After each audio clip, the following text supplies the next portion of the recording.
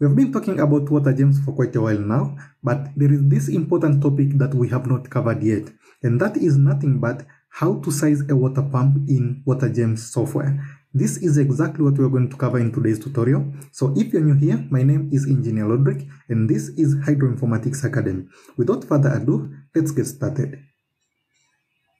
Okay, so this is a simple network that we want to design by using our WaterGem software.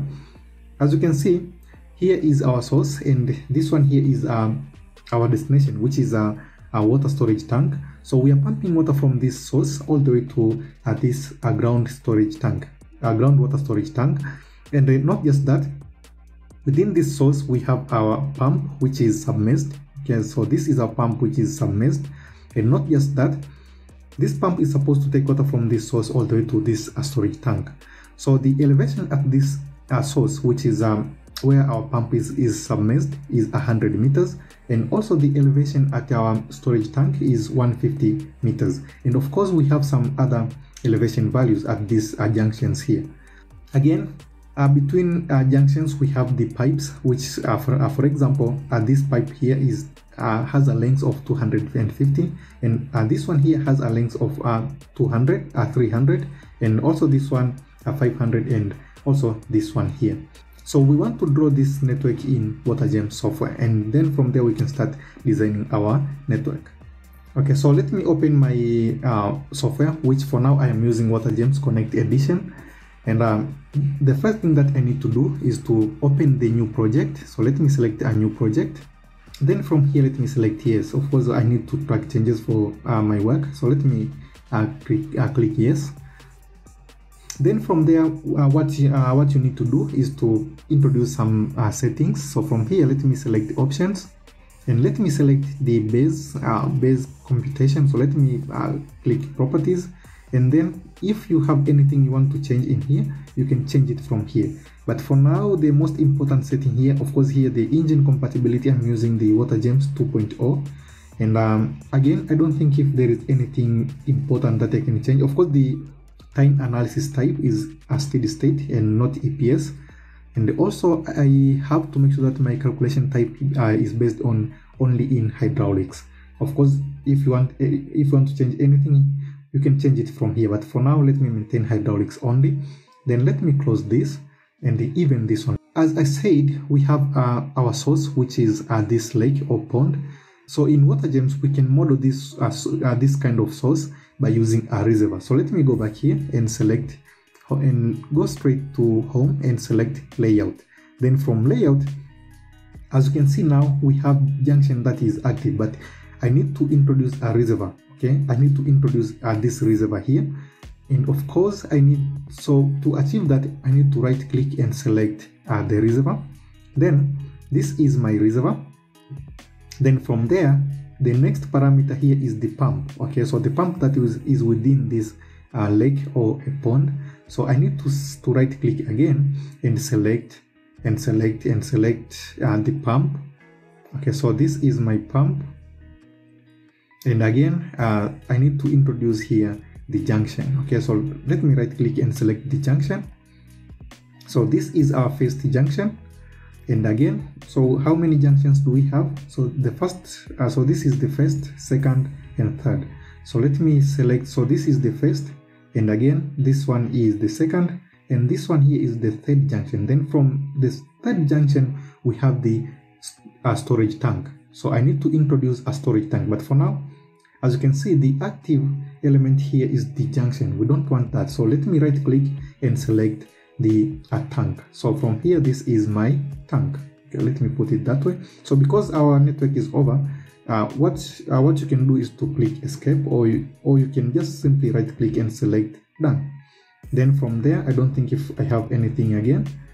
Okay so this is our network. So so far we have managed to take our network from our sketch all the way to and draw it in our software which is WaterGEMS. so what we need to do next is to make sure that we introduce the uh, the properties of each junctions and each um, pipes and even the reservoir and our pump. That is what we are going to do next. Let's proceed. Okay so from here uh, what we need to do is to introduce the parameters. So let me start with the junctions okay? Let me start with the junctions.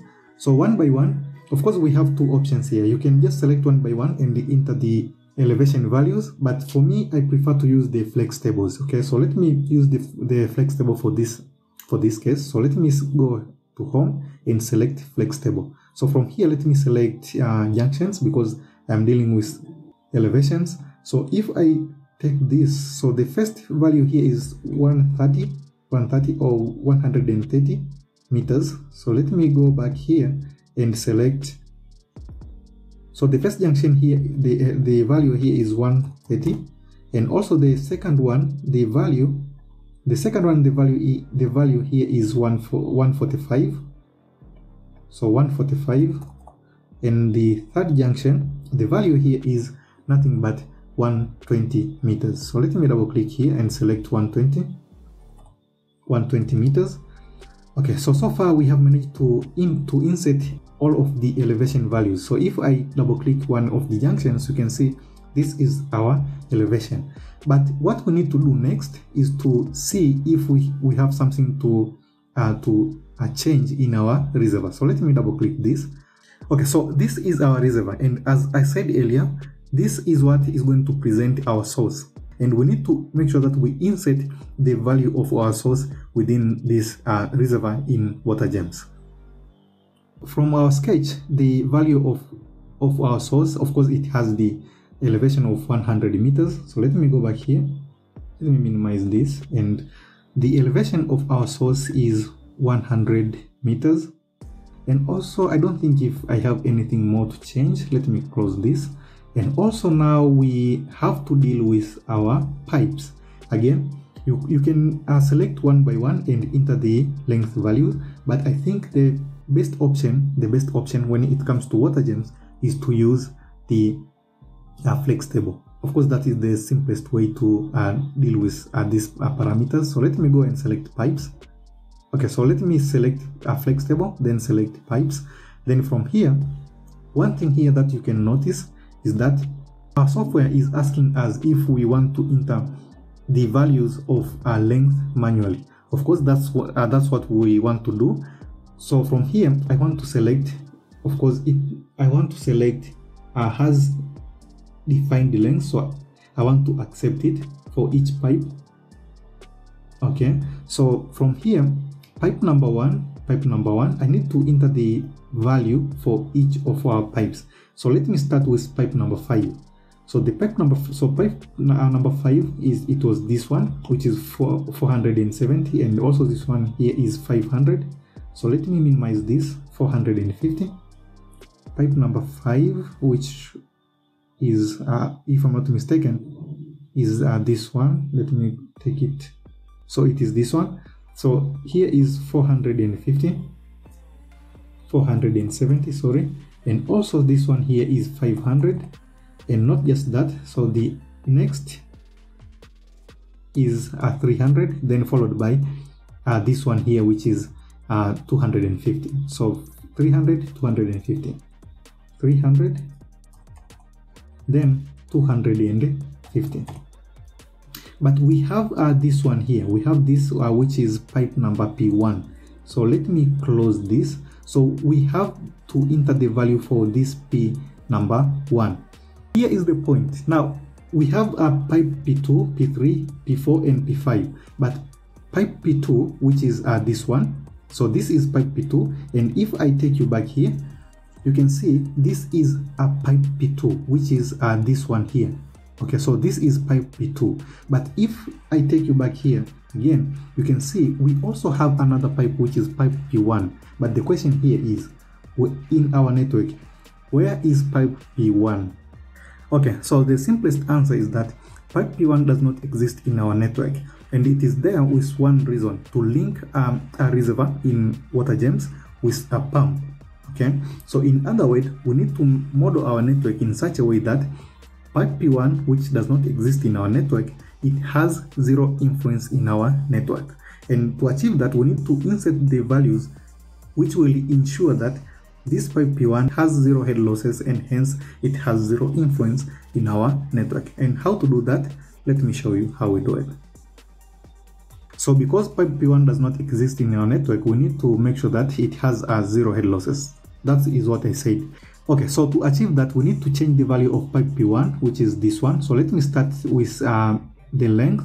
Remember the goal here is to make sure that the pipe p1 has zero influence in our network when it comes to head losses. So we need to change the length and also the diameter. So let so let me start with the with the diameter let me insert the huge value for for diameter okay? So for that let me insert here uh, let's say like a thousand not just a thousand let me insert like 10,000 the huge value.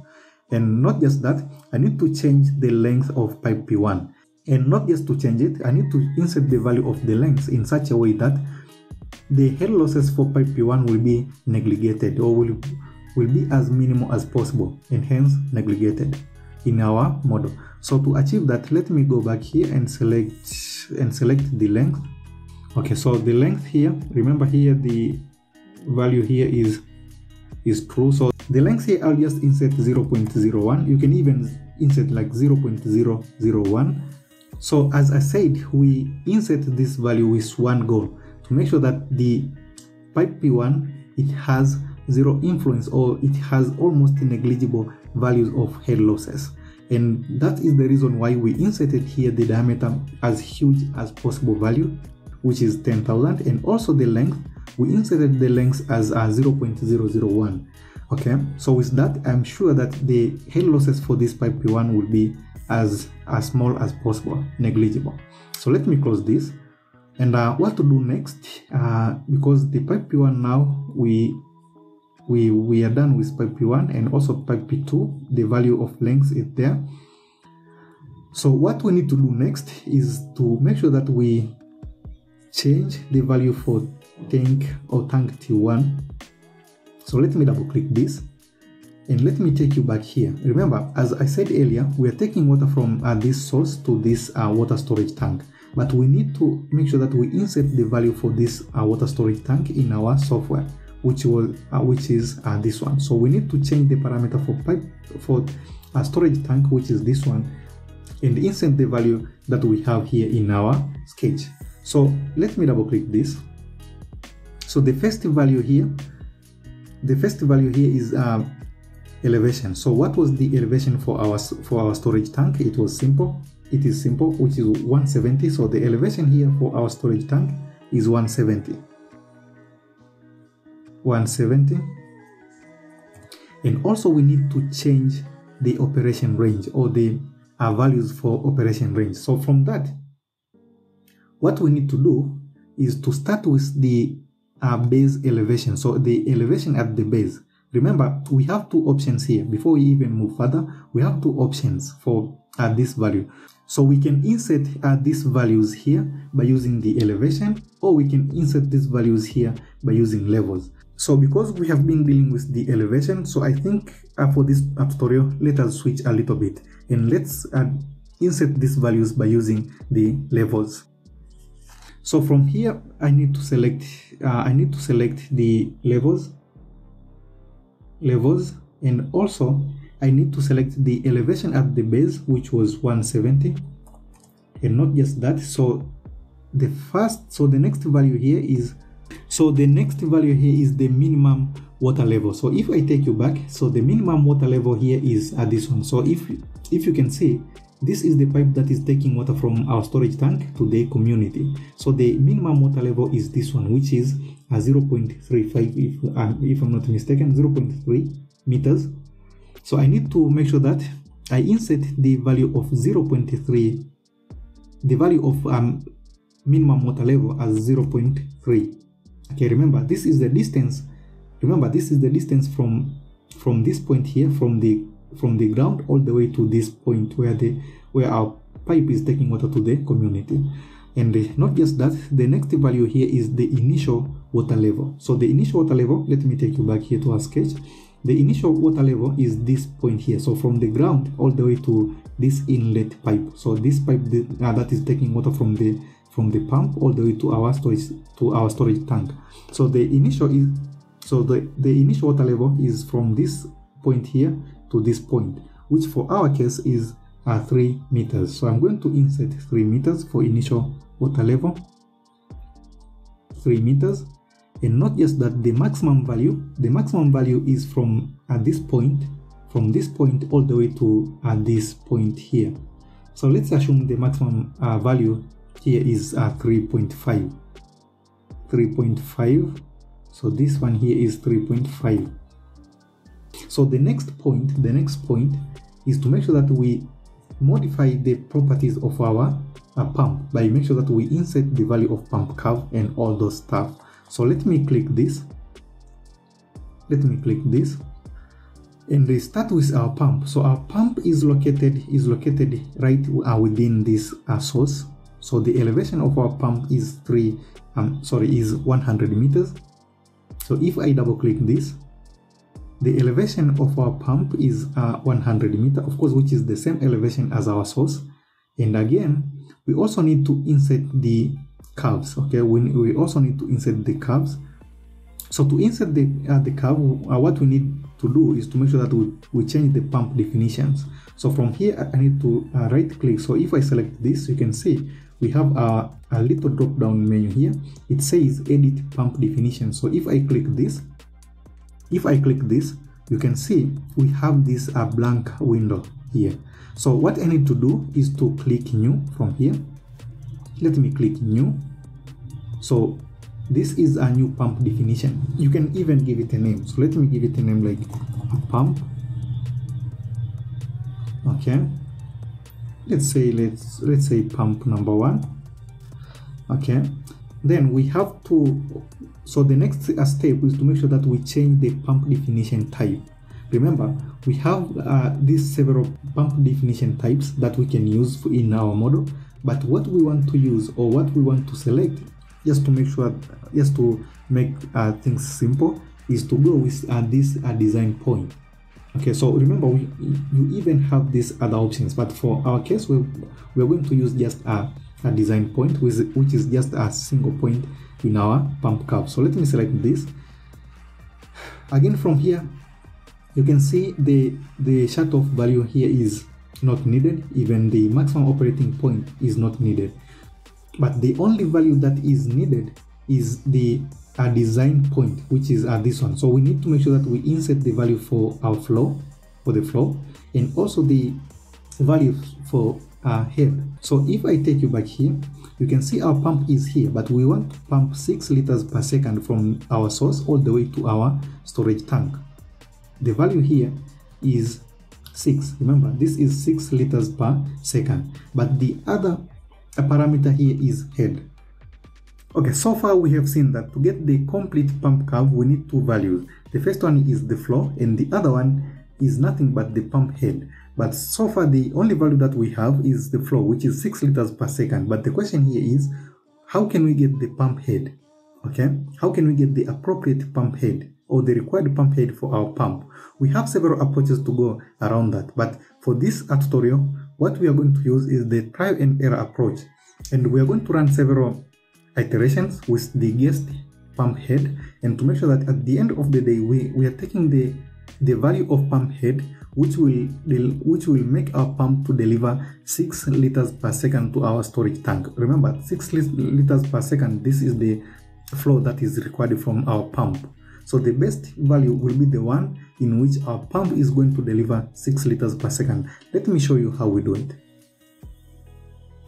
okay so so let me select so let me double click my my pump and also select uh, the pump definition where the pump definition pump uh, pump definition and let me go back here and let me select edit.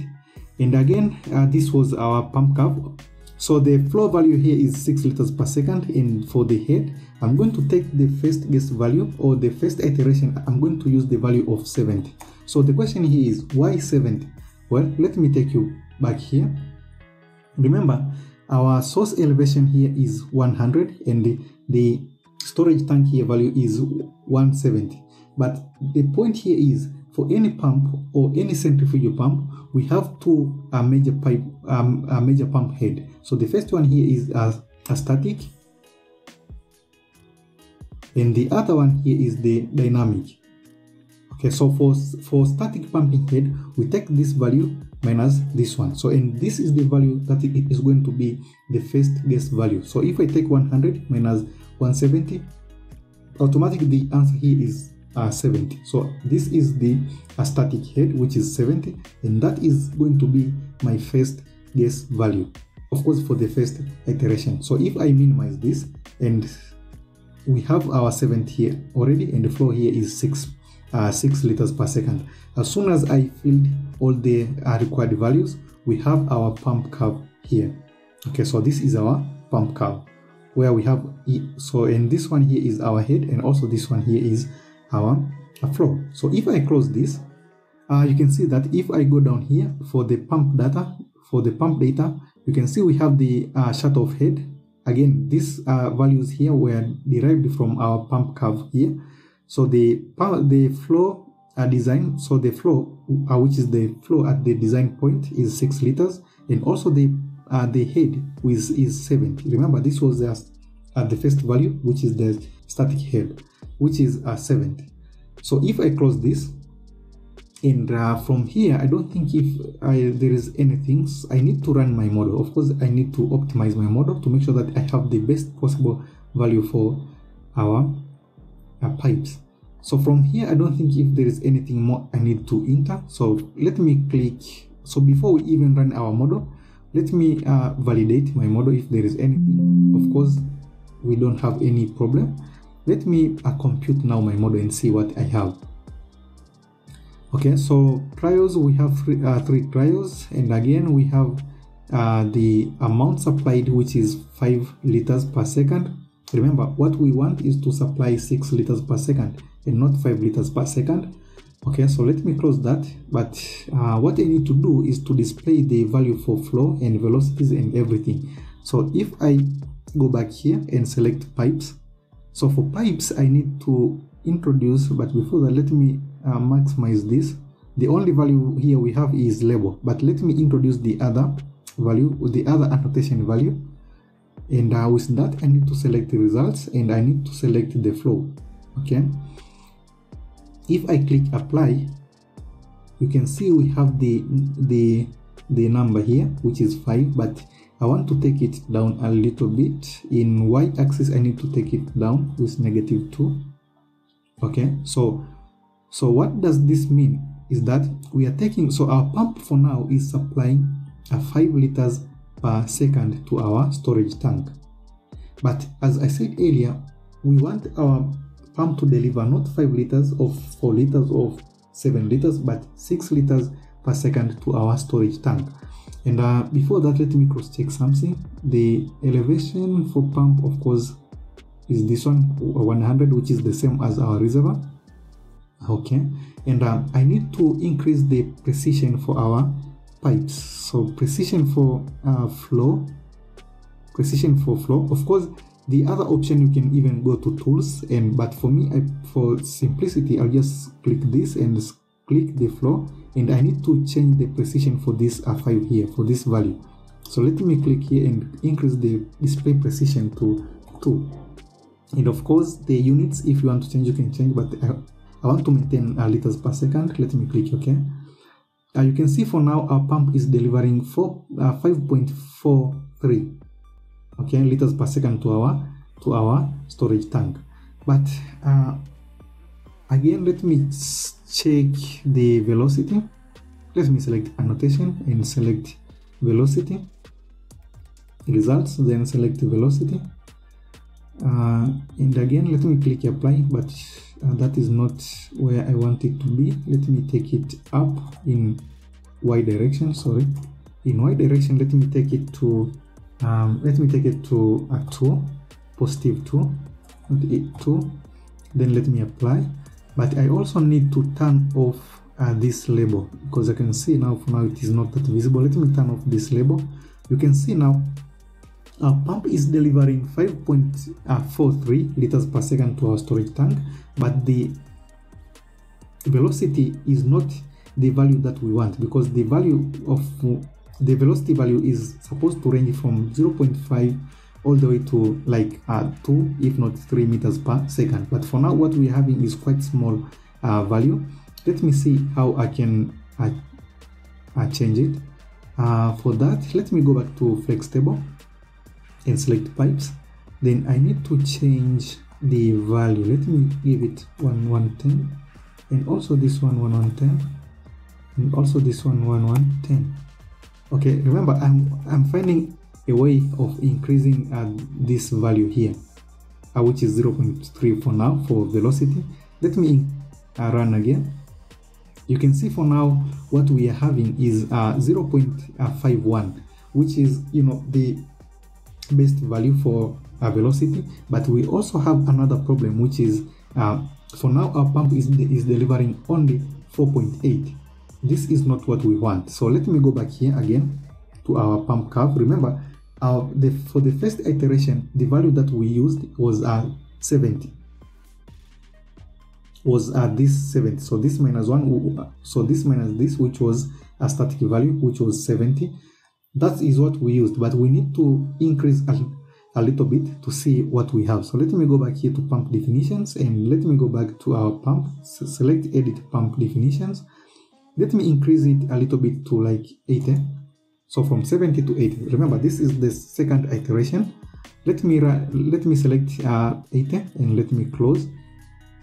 As you can see as far as I, I changed you can see even the value in this area here we have 80 as well and also we have uh, 6 uh, liters per second. So let me close this and let me run again and see what we have. Let me validate first and let me run and see what we have.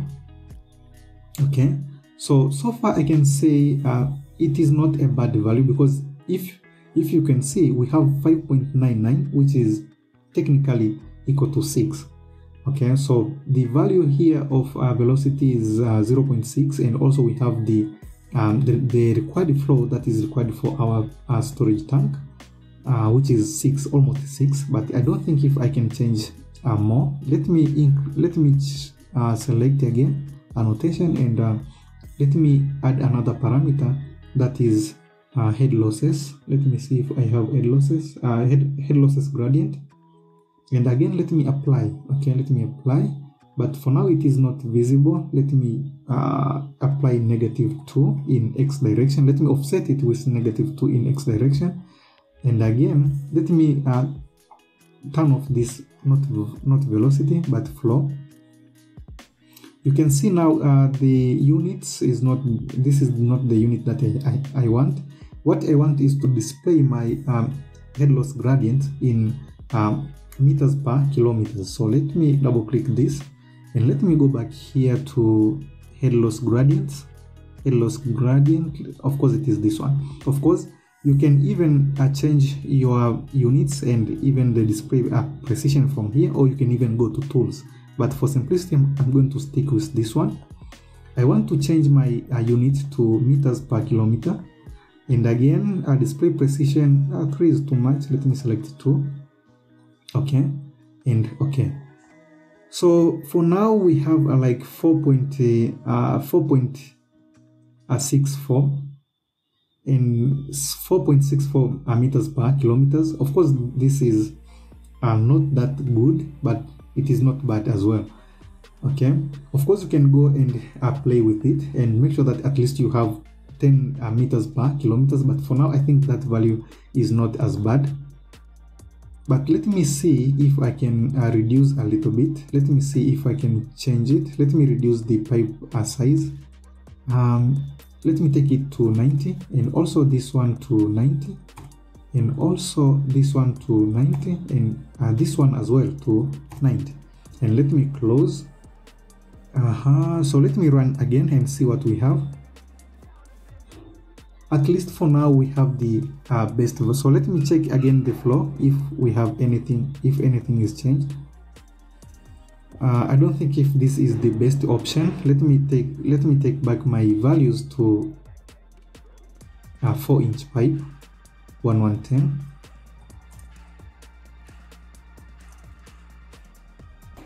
so let me take it back to 1110 I don't think if there is anything that I can change from here okay so that is what uh, we have. If i check if i check the uh, velocities this is what we have. And if i check the flow of course the flow this is exactly what we want our pump to deliver in our pump in our, our storage tank which is almost uh, six liters per second. And um, so the last question is uh, which is the uh, pump head? Of course we have 6 liters per second uh, which we have it from the beginning. But also the question here is what is the value of total pumping head for our pump? So if i go back here so if i select reports and if i select pump you can see we have here the so under reports we have the pump. You can see uh, this is our value. Let me take uh, this one here. You, can see this is our value. So this is our pump uh, which was uh, pmp1 and also the elevation of so the our pump is, is located at 100 meter of course as elevation. And of course this is the pump uh, definition which is the curve that we we insert uh, earlier. And also the initial status for our pump in our model is on. And again the hydraulic uh, grade of course this one here is at the suction point which is uh, 100 meters. And of course we also have this one and lastly of course this one here is at the discharge point which is uh, this uh, storage tank which is uh, 180 and lastly we have the the flow so the flow so our pump has uh, has a flow of uh, 5.99 which is roughly equal to 6 uh, liters per second. And lastly the pump head for our pump is 80 of course 80.06 so in nutshell the properties of the pump that is required for this um, uh, network is first the flow is 6 uh, liters per second and lastly the pump head or the total pumping head or the total dynamic head is 80.06 okay so that is the pump that is required for our network so that is all that I had for you today. But if you want to learn more about WaterGEMS, I have some other very impressive uh, tutorials in my channel. Just visit my channel and also I'll make sure that I include the link to some of them in the description below. And not just that, if you get something out of this video, don't forget to hit that like button and also share it with your friends. And if you're new here, make sure that you subscribe and turn on that bell notification to be notified when I upload another tutorial like this one. With that being said, thank you and I'll see you in the next tutorial.